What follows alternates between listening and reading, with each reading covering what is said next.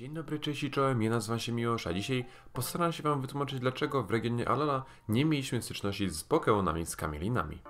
A jeżeli taki materiał Ci się spodoba, to zostaw łapkę w górę oraz subskrypcję na kanale, aby nigdy nie przegapić takiego materiału. Jak dobrze wiecie, większość regionów w grach Pokémon miała swoje prehistoryczne Pokémony, które mogliśmy wskrzesić za pomocą specjalnych skamielin w laboratoriach rozproszonych po całym świecie Pokémon. Dodatkowo, Pokémony te nie do końca wykonają tak, jak ich pierwotne wersje sprzed milionów lat, co często omawiane jest we wpisach w Pokédexie poszczególnych fosil Pokémonów. No ale wracając do tematu skamielin, Wszystkie regiony, w których znajdziemy owe Pokémony to Kanto, Hoenn, Sinnoh, Unova, Kalos oraz Galar. Gry z serii Pokémon Sun Moon wstrząsnęły konceptem całej serii gier, jak i fanami, kiedy zostały wypuszczone na rynek a w grach tych fani nie doczekali się żadnych nowych kieszonkowych stworków bazowanych na prehistorycznych zwierzętach. Gry siódmej generacji, których akcja rozgrywa się w regionie Alola, usunęły kilka kluczowych funkcji, które fani uwielbiali, jak i nienawidzili przez ostatnie lata i zastąpili je dość innowacyjnymi zamiennikami. Na przykład Ride Pokémony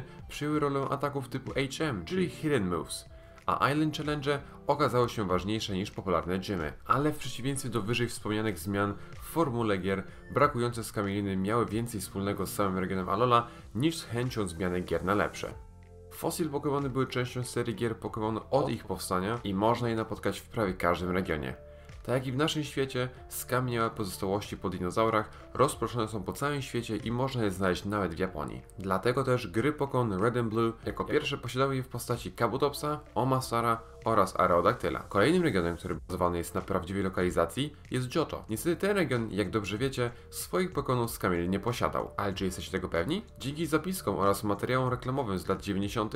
możemy dowiedzieć się, że, że Pokémon o nazwie Tirtuga planowany był, aby zawitać w regionie Johto, co potwierdza ten właśnie obrazek z Pokémonami koncepcyjnymi w wersji beta. A jednym z nich jest ten, który bardzo mocno przypomina Pokémona z kamieniem z regionu Unova, którym jest właśnie Tirtuga. Więc na 100% Game Freak planował wypuścić Fossil Pokémony także w drugiej generacji gier, ale coś poszło nie tak. Wybiegając troszkę w przyszłość, w grach Pokémon Sword and Shield z kamieniny można łączyć tworząc różne odmiany Pokémonów, które wyglądają naprawdę dziwacznie. A jeżeli uważacie, że najnowsza dziewiąta generacja gier także nie wypuściła skamielin, a moja teoria nie ma sensu, to popatrzcie na to z innej strony. Pokémon Scarlet and Violet wprowadziły nową mechanikę, jaką są Pokémony Paradoksy, które pochodzą zarówno ze starożytnej przeszłości, jak i odległej przyszłości.